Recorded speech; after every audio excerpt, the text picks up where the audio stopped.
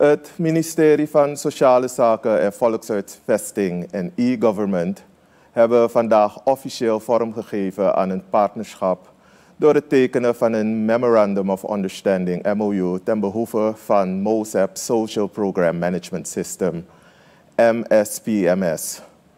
MOSEP is de Engelstalige benaming van het ministerie van SOSAVO.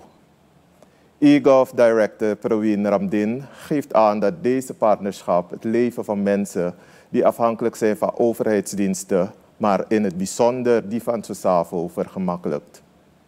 This partnership signifies our unwavering commitment to improving the lives of those who depend on government assistance. By harnessing the power of technology and data, we aim to create a streamlined and efficient system that ensures timely access to government social services for our most vulnerable citizens.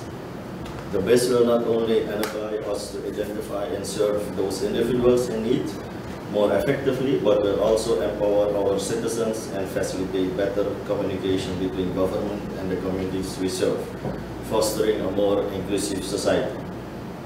As we move forward, let us remember that at the heart of this endeavor are the people we aim to support. Het MSPMS-systeem biedt mensen die gebruik maken van overheidsdiensten van het ministerie van SOSAVO digitale toegang tot diensten. Minister Ines Panay van het departement riep belanghebbenden op om gebruik te maken van het systeem.